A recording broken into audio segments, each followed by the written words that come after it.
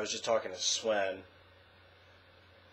and um, he asked me if I focus on one song, if I write one song at a time, focus on one song at a time, or uh, a lot of songs at once. And I thought, I'm, I'm always focusing on one thing at a time. Like, there's no rhyme or reason to what I'm focusing on next. It doesn't really.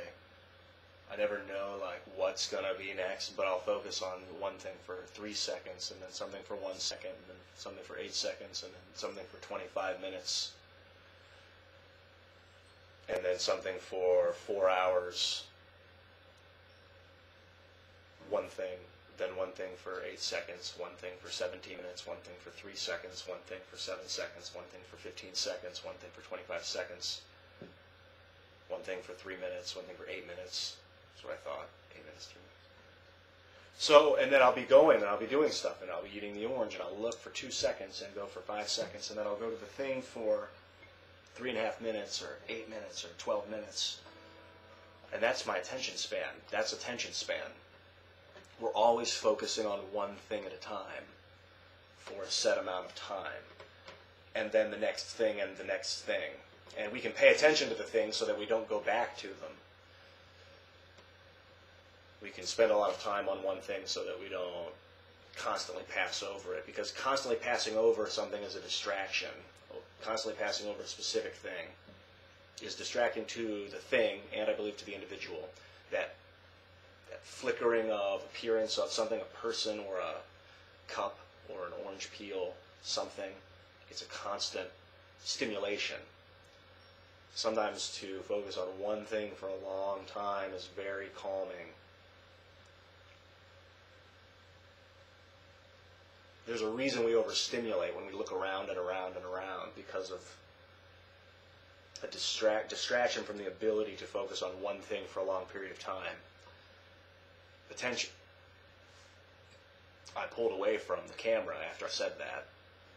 It was as if I created a difficulty to pull away from the camera for a long period of time. That's not what I meant. It's like I'm confusing myself. I know what I'm saying, though. Um, that our ability to focus on one thing for a long period of time comes from learning that ability as a young child. So most of our parents, if you're in my generation, I'm 29, so if you're like 10 years in either direction or 12 years in either direction, we're pretty much the same generation. Even a little bit more. Like if you're 15, we're kind of bordering generations, but still like we both know video games and the internet and stuff. And if you're like 45, 42, your parents were like in Korea, maybe, or Vietnam or something. We're like in the same generation. My dad was went to the Navy during Vietnam, so that'll give you a judgment of. Because age doesn't really matter. Like how we know the world is what matters. And I think people of my generation were raised in a somewhat of a distracting environment they weren't. I can I can only really generalize. For me, I wasn't really able to focus on one thing at a time. It took a lot of effort. Class even would be like, teachers were distracted people. They'd have their shit that they brought in from the day, from their lives, from their crazy parents who were in World War II or in that time. Dude, what a fucking gash in what we are. Like jagged, ripped apart. It jagged the human race. I know it doesn't quite make sense, but that's what it did, man. World War II, it fucking ripped our heart out. It like ripped it open. It's like, dude, to do that to a, a society, man. No more of that. No more great wars. We learned our lesson from World War II, from watching documentation of it. I did. This is a really good documentary. I highly suggest renting it or buying it. There's The World at War there's interview with Hitler's secretary, Gre- Greta or something. Oh God, I don't want to waste your time by looking for it right now. She's talking about like I mean she was like his secretary for years, like 20 years or something, oh, 10 years or a long time. I think longer than 10. Um, she was saying like, oh he when he walked into the room, no one talked. When he walked into the room, no one talked. And she's, people fell silent. And she sat there, like in the next room or something. And this guy was like, spiraled out of control into isolation as he was gaining influential power with guns. Not the way to go about it, buddy. We learned because it's on video. Like this happened for thousands, probably hundreds of thousands of years. Forceful uh, takeover. And then we started recording ourselves, and World War II became like this huge, big thing. But it's like just sociological warfare. But I see it now. Like war is fucked. War is not the way to coalesce. To if you want that piece of land, don't invade it. Culturally influence it, and then you'll realize we're all one land.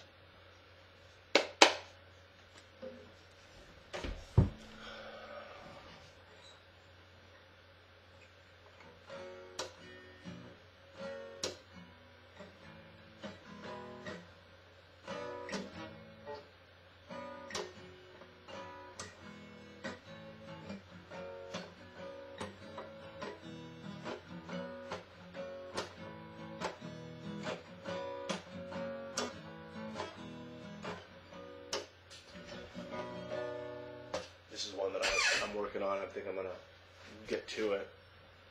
This is what I got so far. I, I love the way you look at me when you say, when you say, Fuck, dude. I love.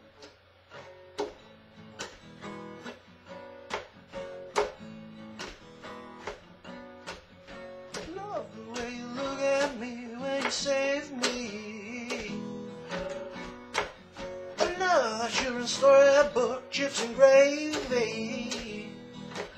And you work so hard that you don't get bored. And you might get stoned sitting in the car. You contradict and mission ground control. And you might get home alone. You might design a stranger's tone. So pick up recognizing, recognizing you to grow.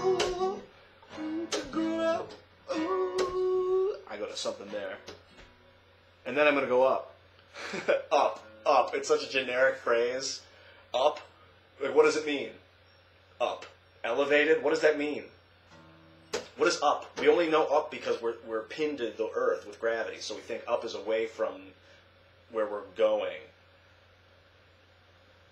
Because we're going down. we are going down.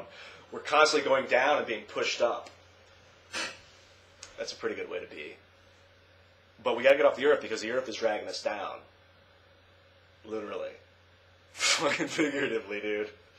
When you run and trip, the earth will drag you to the ground. So don't do that. Walk calmly and smoothly. Make your way to where you're going.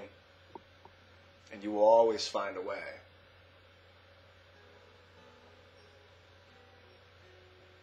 Even if it's a simple one step procedure. You can do it. You can do it calmly. You can make it interesting. People want to watch you work calmly.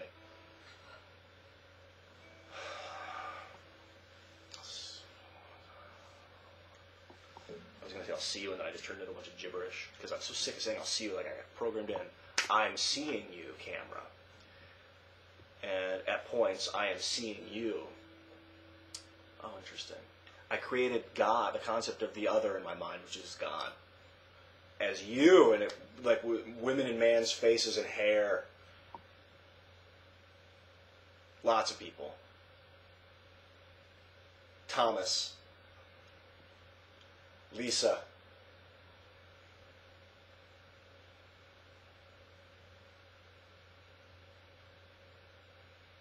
That's interesting. Like I watch videos and I see you. I wonder if it's like I'm connected to what's coming or if I'm actively deciding what's coming by choosing what I grow in my mind, by what I watch, what I surround myself with, what I look at. See, man.